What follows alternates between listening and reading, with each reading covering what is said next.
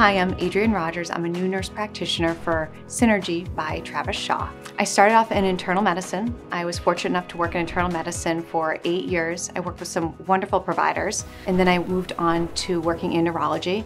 There I work with patients with chronic migraine, acute and chronic there, and I was introduced to Botox. With Botox, you can work with treating muscle spasms, migraines, and you can treat the head and scalp all the way from the frontalis, corrugators, and procerus all the way back, sides of the head, all the way down.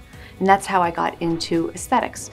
And with aesthetics, you can treat um, a whole bunch of things. One of the primary things people come in for is wrinkles um, with it and some skin laxity there. And the last couple years I've been doing that and it's really been life-changing for me and I really love working with patients with it. It really instills confidence in them and I get to really build wonderful relationships with them and that's what I was able to do in neurology and also in internal medicine. So I'm really surprised at how wonderful it's really transitioned into my life and then also with my patients as well.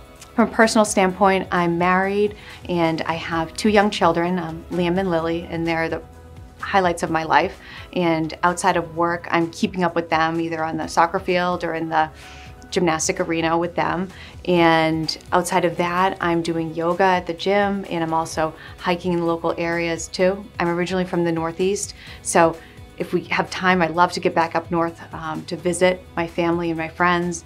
And I'm fortunate enough that my family will come down and visit me here as well, which is wonderful. The way I view my relationship with my patients is that this isn't a transaction, this is a journey. So I love to set out a plan with patient and care plan where we see how our appointment is today and then how it's going to be two weeks from now, two months from now, and two years from now. And what are your personal goals and what are our goals together?